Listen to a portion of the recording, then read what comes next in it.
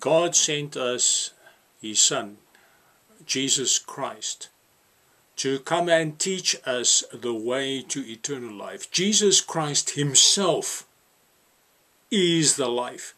He is the way and the truth and the life. Nobody else. He is the only one who can guide us into eternal life. And people don't want to listen to him. As Jesus said to the disciples, I read from Matthew chapter 23, verse 8. But do not be called rabbi, for one is your teacher. Dear friends, we have one teacher, and that is Jesus Christ. He came to show us the way, He came to teach us. But when Jesus ascended to heaven, He did not leave us without counsel. He is still guiding us by His Spirit if we will listen. He said in John chapter 16, verse 7, we read, But I tell you the truth, it is to your advantage that I go away. For if I do not go away, the Helper shall not come to you. But if I go, I will send him to you. And he, when he comes, will convict the world concerning sin and righteousness and judgment. Concerning sin, because I do not believe in me, and concerning righteousness, because I go to the Father, and you no longer behold me, and concerning judgment, because the ruler of this world has been judged.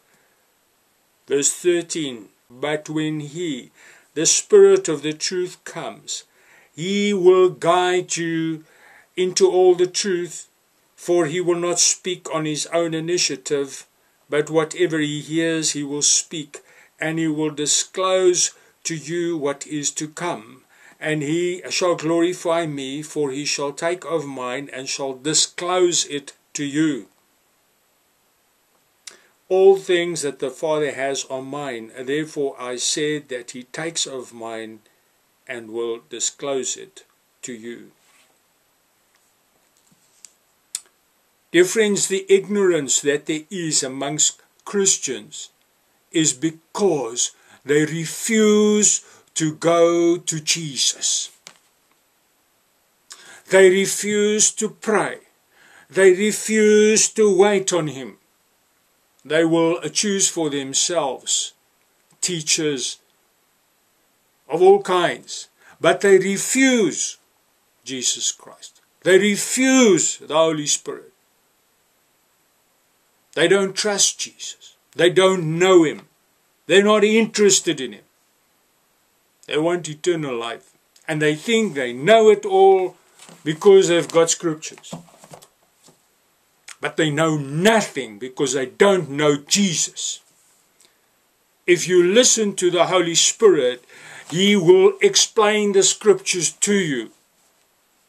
But if you don't listen to Him and if you don't seek Him with all your heart, you will die in your sins. Dear friends, God sent us the best. He sent us His Son and his Son sent us the Holy Spirit. Are you refusing the Holy Spirit? Are you refusing to listen to him? Are you more clever? Are you found some better teacher? Don't you trust him? Dear friend, we will only have ourselves to blame. If we end up in hell, we will only have ourselves to blame when Jesus says to the majority of Christians one day, he will say to them, Go away, I never knew you. You work iniquity. You know why? Because they would never listen to him. He is our teacher, nobody else. Do you want to know the truth? You want to have eternal life? Then, my friend, go on your knees and pray and pray and pray until he speaks to you and then stay with him and let him guide you all the way until the very end because he is the only one who will get you into heaven. Jesus Christ himself by his Holy Spirit is the way and the truth and the life Listen to him, or you will perish. May Jesus bless you.